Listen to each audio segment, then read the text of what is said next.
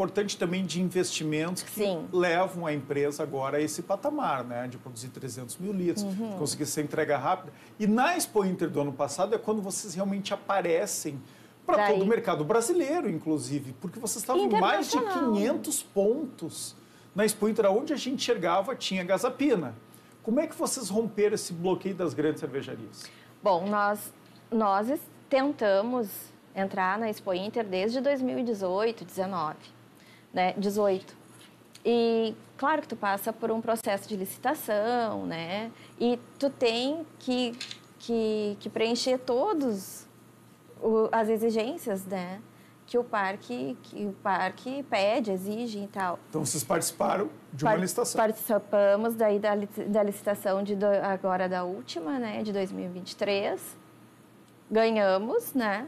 E para ganhar total direito, nós tínhamos que ter tantas chopeiras, tantos veículos, né? Ah, cadeira, mesa. Sim, então nós- estrutura grande. Sim, então nós fizemos uma parceria com, com um distribuidor nosso e nosso colaborador na época, hoje não é mais, mas na, na época foi super importante, que fez a distribuição lá dentro.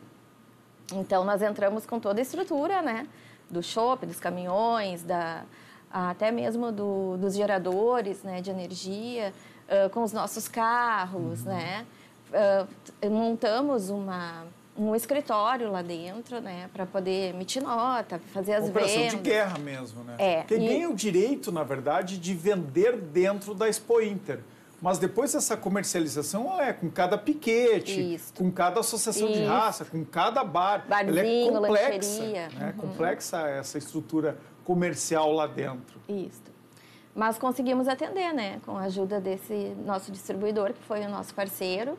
Deu tudo certo, mas foram ah, dias assim bem Tensos. assim, intensos de correria mesmo, entrega e leva e busca. Quanto foi vendido de litros de chopp só na Expo Inter do ano passado? Na Expo Inter foi vendido muito, muito. Acho que não sei dizer a litragem certa.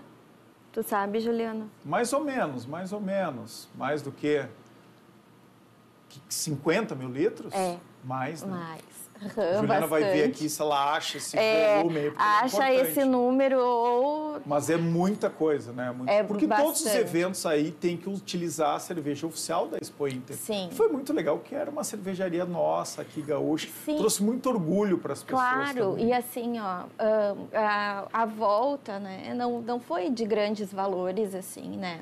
Mas a visibilidade, sabe? Uhum. A vitrine, o reconhecimento era um sonho, né, que a gente tinha de participar da Expo Inter. Cerveja oficial da Expo Inter. Claro, Não é ai. qualquer marca que E assim, da- né, o meu povo tava lá e chegava e dizia, ah, eu sou de livramento, ou outras pessoas, já tomei gazapina, que bom que vocês estão aqui. Esse, esse falar com a pessoa, né, olhar o teu consumidor. Faz toda a diferença. Sim,